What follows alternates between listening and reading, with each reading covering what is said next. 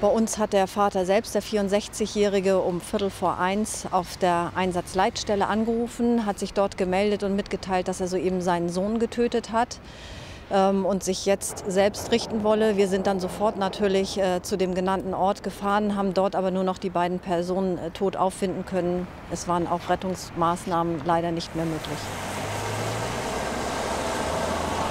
In diesem Fall ist es natürlich besonders dramatisch, weil man vielleicht äh, auf dem Weg zum Einsatzort noch die Hoffnung hat, äh, dass es nicht so kommt wie befürchtet. Denn der Vater zumindest hat zunächst noch gelebt und möglicherweise hätte man ja auch noch den Sohn retten können. Das sind zumindest die Hoffnungen.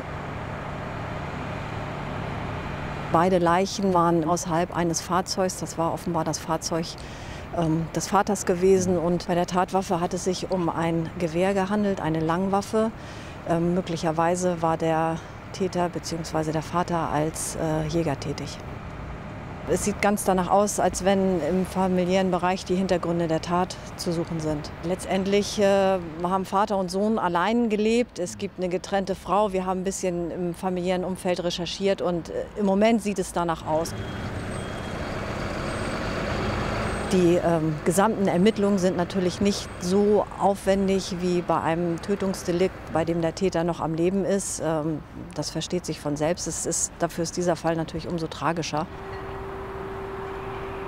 Letztendlich bleibt uns dann jetzt noch ein Todesermittlungsverfahren, denn äh, ein Strafverfahren wird gegen, äh, oder gegen Tote wird nicht ermittelt.